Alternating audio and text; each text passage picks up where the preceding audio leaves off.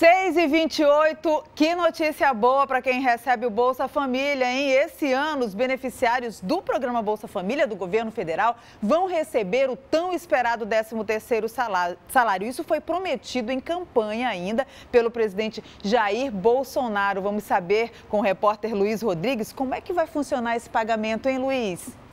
É, Mariana, a notícia é boa para os beneficiários do Bolsa Família. Sai esse ano o 13º tão esperado. Agora sim, essa é uma garantia apenas para esse ano. Embora o governo federal tenha anunciado o pagamento anual do 13º salário do programa Bolsa Família. A medida provisória, que trata do benefício publicado ontem no Diário Oficial da União, assegura somente o pagamento da parcela em dezembro deste ano. Não há no texto da medida provisória nenhuma referência ao pagamento dos benefícios dos próximos anos. O valor previsto para o programa Bolsa Família em 2020, entretanto, é de 30 bilhões de reais, o mesmo valor que estava previsto para 2019 antes da assinatura da medida provisória. Eu volto com você ao estúdio. Obrigada, Luiz, pelas suas informações, informações tão esperadas, né, para quem recebe o Bolsa Família. Eu vou falar do estacionamento no centro de Manaus. A cobrança ilegal dos estacionamentos lá no centro é um problema bem antigo, isso todo mundo sabe. Os motoristas que estacionam, principalmente ali no do mercado Adolfo Lisboa já pediram fiscalização na região. Este motorista lamenta a ausência de fiscalização no entorno do Adolfo Lisboa. A coisa mais difícil aqui é tu ver um Manaus Trans, né? O que eles passam é só a, alertando, tocando aquela sirenezinha dele, para que os carros saiam, mas tem muita irregularidade aqui em Manaus. Quem estaciona nessa região chega a pagar um valor de até 20 reais. Mas o que chama a atenção nessa cobrança indevida é que o flanelinha fica no local até às 13 horas, ou seja, recebe o valor e vai embora. E quem esperava ter o carro vigiado por um longo período fica no prejuízo. Este outro conta que se sente obrigado a pagar por um serviço que não deveria existir somente para evitar conflitos. Então, para não evitar problema, ou então preciso um carro mesmo, eu prefiro dar. 30 anos trabalhando na região, este flanelinha reconhece que o centro de Manaus é um local sem lei. Não tem nada certo a saber aqui, tudo aqui é errado. Aqui não tem lei, aqui é sem lei.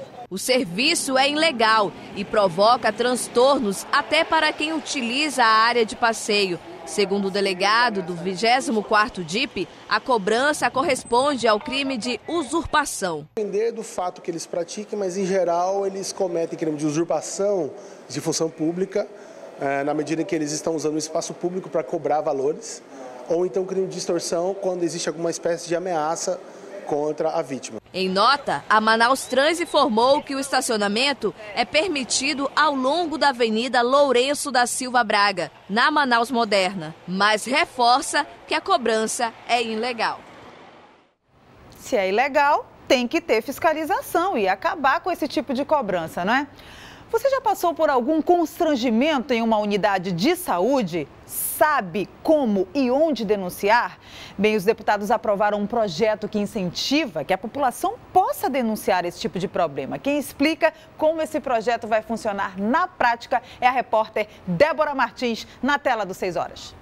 É isso mesmo, Mariana. Foi aprovado um projeto de lei na Alean que incentiva as pessoas a denunciarem quando forem maltratadas ou se sentirem discriminadas nas unidades de saúde do SUS. Nos postos de atendimento será obrigatório a fixação de placas em local visível e em tamanho em forma legíveis, divulgando o telefone da ouvidoria. O material também deverá destacar que todo paciente do SUS tem direito a tratamento digno digno, humanizado, acolhedor e livre de qualquer discriminação. Atualmente, ao menos 23 unidades de saúde sob a gestão da Suzan em Manaus possuem ouvidorias próprias. Eu volto com vocês no estúdio. Obrigada, Débora. Muita gente reclama aí do atendimento nas unidades de saúde, né?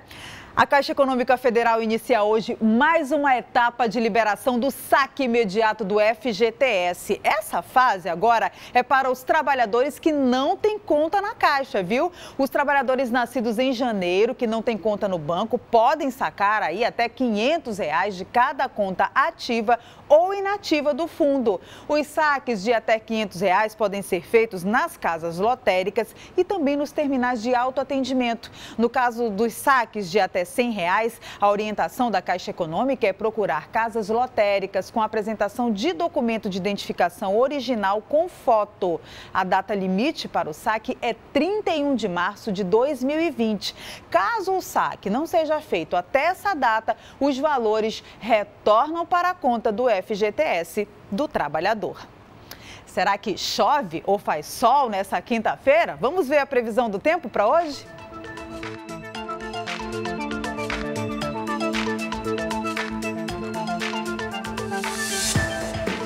Em Manaus é chuva nessa quinta-feira, mínima 23, máxima 32 graus. Em Boca do Acre, eita é temporal, é chuva com trovoadas, mínima 22, máxima 33. Em Manicoré você também prepara o guarda-chuva, temperatura mínima 24 e máxima 34 graus. E em Pauini tem mais temporal, minha gente, com trovoadas, mínima 25 e máxima 35 graus. Essas foram aí a previsão do tempo em Manaus, Boca do Acre, Manicoré e Pauini. Agora eu vou para Parintins, no interior do Amazonas, na terra dos bombais, porque o Rony Belchior já está lá preparadinho para trazer a previsão do tempo para gente. Na tela dos 6 horas. Olá Mariana, olá a todos, olá você, bom dia, você que acompanha os 6 horas notícias desta quinta-feira. Mariana, estou aqui em frente à paróquia do Sagrado Coração de Jesus. É uma das paróquias mais antigas da cidade de Parintins e os festejos em homenagem ao Sagrado Coração começam nesta quinta-feira, hoje, dia 17, e prosseguem até o próximo dia 27 deste mês de outubro. Agora, Mariana, falando de previsão do tempo, nesta quinta-feira o Cipan nos informa que aqui para a região de Parintins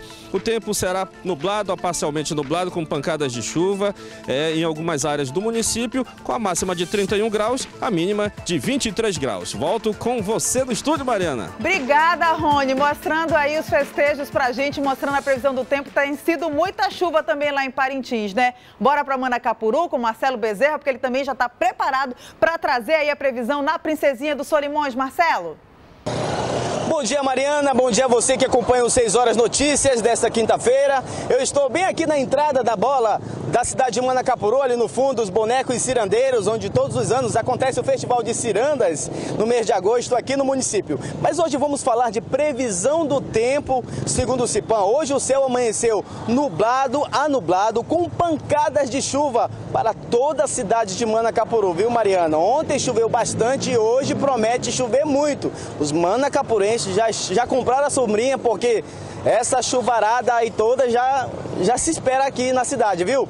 A temperatura máxima para a Princesinha dos Solimões é de 32 a máxima e a mínima é de 23 graus. Eu volto com você aí no estúdio. Eita, Marcelo, que deu um raio grande ali atrás, né? Chuva mesmo lá em Manacapuru. Eu vou para Presidente Figueiredo, agora na Terra das Cachoeiras, saber, será que lá chove também ou faz sol? Jackson Salvaterra já está prontinho para trazer as informações para gente. Jackson. Olá, muito bom dia, Mariana. Muito bom dia para você que acompanha os 6 Horas Notícia. Eu falo aqui da Praça da Cultura, local onde também é realizada a festa do Cupuaçu. E a partir de hoje, né, a partir das 5 da tarde, começa a Agro Show. Evento esse que você já pôde acompanhar aqui na, no 6 Horas Notícia. Então, Mariana, na quarta-feira choveu muito aqui na cidade, esfriou bastante, as águas da corredeira aumentaram, então, final de semana chegando, é uma boa pedida para você. O tempo amanheceu nublado, parcialmente nublado, com pancadas de chuvas. A mínima pode chegar a 23 graus e a máxima a 31. Eu volto com você, Mariana. Tá certo, muito obrigada. Olha, nessa tem agroshow, né? O, o Jackson estava falando aí. A gente fez uma materinha especial aí para mostrar para você como é que vai acontecer aí essa festa. Vamos ver? A gente... A gente vai mostrar daqui a pouquinho, é isso? Olha, um paraibano identificado como Luiz Fernando Gomes Vieira foi preso no porto de Tabatinga tentando transportar 26 quilos de drogas que dentro de duas caixas de, dentro de duas caixas de som. Olha só onde chega a audácia dos traficantes. A droga seria trazida aqui para a capital. O suspeito e o material entorpecente foram levados à delegacia da Polícia Federal. Aqui em Manaus, Jorge Igor, de 31 anos, foi preso quando tentava tentava fazer aí o transporte de 14 tabletes de maconha do tipo skunk para o Aeroporto Internacional Eduardo Gomes. Essa droga estava escondida dentro de potes de suplementos. O suspeito relatou à polícia que seria o responsável apenas de transportar esses entorpecentes. O destino do material ilícito não foi informado. Ele disse que iria despachar aí as drogas no aeroporto. Nesse caso, pode ser aí uma, um caso de tráfico de drogas interestadual ou intermunicipal. Jorge Igor não possui antecedentes criminais. Ele foi autuado por tráfico de drogas e deve ser encaminhado para audiência de custódia. Nessa semana em Manaus acontecem as Olimpíadas dos Tribunais de Contas do Brasil e teve gente suando a camisa no vôlei de praia que foi realizado lá na Ponta Negra. Vamos ver. O clima não estava tão ruim e a torcida podia até ser pequena, mas estava vibrante. Boa mesmo estava a disputa nas quadras, com 45 jogos e com 63 duplas masculinas e femininas divididas em três modalidades. As eliminatórias do vôlei de praia aconteceram nesta quarta-feira. E alguns semifinalistas foram definidos, como a dupla amazonense Rogério Perdiz e Gengis Khan, que são auditores técnicos do Tribunal de Contas do Estado e atletas nas horas vagas. É sempre bom jogar em casa com torcida, né? Então nós vamos jogar a semifinal da areia livre, da idade livre, mas é um esporte coletivo, que a gente tem uma dupla, mas na verdade também tem a integração com os outros tribunais, a busca de conhecimento, a troca de experiências. Mas vencer é bom, e ser campeão é melhor ainda. Aquela história de competir é bom, não, vencer é bom. Parceiro de Rogério, Gesiscan também destaca a importância que tem um evento como esse para eles. Isso para nós aqui é, é até uma certa fuga, uma forma da gente descontrair, distrair de toda a responsabilidade que a gente tem durante o ano. Né? A abertura dos jogos aconteceu nesta última segunda-feira e já na terça, mil servidores estavam escalados para disputar mais de 24 modalidades. O encerramento vai ser neste próximo sábado, mas só vai ganhar premiação quem estiver dando sangue dentro da quadra. Estão participando representantes de todos os tribunais de contas do Brasil. Para eles, o evento é importante. Os campeões vão disputar as Olimpíadas Mercosul, que conta com a participação de outros países sul-americanos. Manaus que você quer para o futuro, hein? Muita gente mandando vídeo para gente. Você também aí de casa vai mandar seu vídeo, né? Que no decorrer do programa a gente vai mostrar aqui. Tá aí o WhatsApp na sua tela. É o 993276649. 993276649. É o mesmo número que além de você mandar o seu vídeo dizendo qual é a Manaus que você quer para o futuro, você também manda sua foto, que é para eu te conhecer aqui, né? Conhecer quem é que está do outro lado da telinha comigo, tomando esse café da manhã gostoso nessa quinta-feira. Mostra aí, produção, quem é que tá com a gente agora, hein?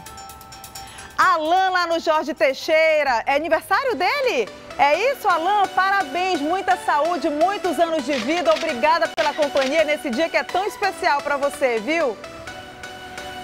Sigrid e Valdineito, eles também sempre mandam pra gente, viu, Flavinha? Lá no Tancredo Neves, olha que festa de aniversário boa! Kathleen e quem? Kathleen e a Natália, elas, elas estão assistindo a gente de onde, hein? do Jorge Teixeira, também nosso querido bairro da Zona Leste da capital. Você continua mandando suas fotos no 993276649, que no decorrer do programa eu vou mostrar todo mundo que está assistindo a gente, tanto na capital quanto no interior do estado, viu? Manda aí para mim. No próximo bloco, o Tribunal de Justiça do Amazonas faz mutirão para agilizar processos judiciais. São 6 horas e 42 minutos. Não sai daí não, que eu volto em um minutinho. Já já.